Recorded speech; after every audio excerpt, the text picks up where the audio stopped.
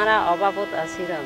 পয়সার সময় মতো লেখাপড়া দিন পারে সময় মতে পয়সায় খাওয়া খাওয়া দাওয়া খাই পারে এখন লেট পিছনে যখন সহযোগিতা করে টিয়া পয়সা সাহায্য করে লয়ারে খেতি করা একখানা বাড়াই আরে করে পয়সা তো লেখাপড়া দিতে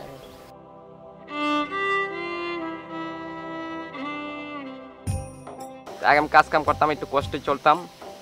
এর ভিতরে বাংলাদেশ ক্রিসেন্ট সোসাইটি তিরিশ হাজার টাকা দিল আমাকে।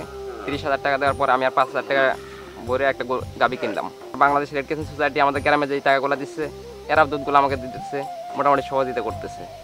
সহযোগিতা করাতে আমি খাগড়াছড়ি নিয়ে বিক্রি করতেছি ষাট টাকা করে, গ্রাম থেকে কিনতেছি পঁয়তাল্লিশ টাকা। চার পাঁচশো টাকা হইতেছে আমার মোটামুটি। তো এই কারণে আমি রেড ক্রিসেন্ট সোসাইটিকে ধন্যবাদ জানাই আমাকে সহযোগিতা করার জন্য। প্রথম হে, আংরিক রান্না ওয়ান, আংরিক রান্না আত্মীয় আট করত bà là nó tài quả ra nên nó ăn rắn là con na nó các cũng ăn hay bỏ vào thì đã thun mà kim nó ăn hay là ăn thịt là kim nó số là ăn rắn là ông này kỹ sư ăn nhà chẳng là unoi on nó lúc bên bà mà chỉ một đấy chẳng là unoi on bà ăn chẳng là nó ăn income tiền mas cái sạch hạt sơ rồi nó ăn chẳng income.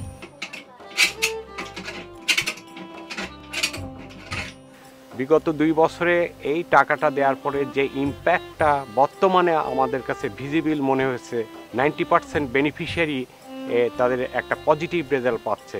যেমন তাদের food security cover হচ্ছে হেলথের ব্যাপারে তারা বিভিন্ন চিকিৎসা নিতে পারছে, তারপর তাদের ছেলেমেয়েদেরকে স্কুলে দিতে পারছে, তারপর আমাদের বিভিন্ন মনিটরিংয়ে দেখা গেছে যে পরিবারের মাসে ইনকাম ছিল চার হাজার টাকা এখন সেই পরিবারের মাসে ইনকাম দেখা গেছে ছয় হাজার সাত হাজার টাকা। ওইটা তিরিশ হাজার টাকা পাইয়া একটা প্রজেক্ট কিনছি। প্রজেক্ট কিনে মাছ খাচ্ছি। মাছ ছেড়ে নিজেও খাইতেছি। বিক্রি করছি এক চালান। আটত্রিশ হাজার টাকা পাইছি। পাইয়া একটা গরু কিনলাম পনেরো হাজার টাকা দিয়ে। ওইটা আছে দুধ বিক্রি করতেছি।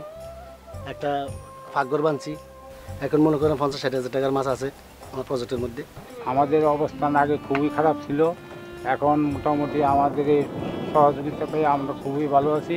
এই প্রকল্পকে, এই এলাকার পক্ষ থেকে আমি ধন্যবাদ জানাই।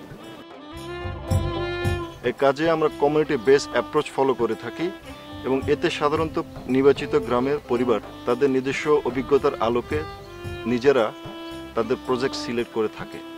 প্রজেক্ট সিলেকশনের পরে বাংলাদেশ রেড কিচেন সোসাইটির সহযোগিতায় তারা ব্যাংকে সবাই আলাদা আলাদাভাবে অ্যাকাউন্ট খুলে থাকে। বাংলাদেশ রেড কিচেন সোসাইটির মাঠ পর্যায়ের কর্মকর্তা কর্মচারী বৃন্দ, তারা প্রত্যেকটা পরিবারকে আলাদা আলাদাভাবে মনিটরিং করে থাকে, সে টাকাগুলো ঠিকমতো ব্যয় হয়েছে কিনা সেটা দেখার জন্য।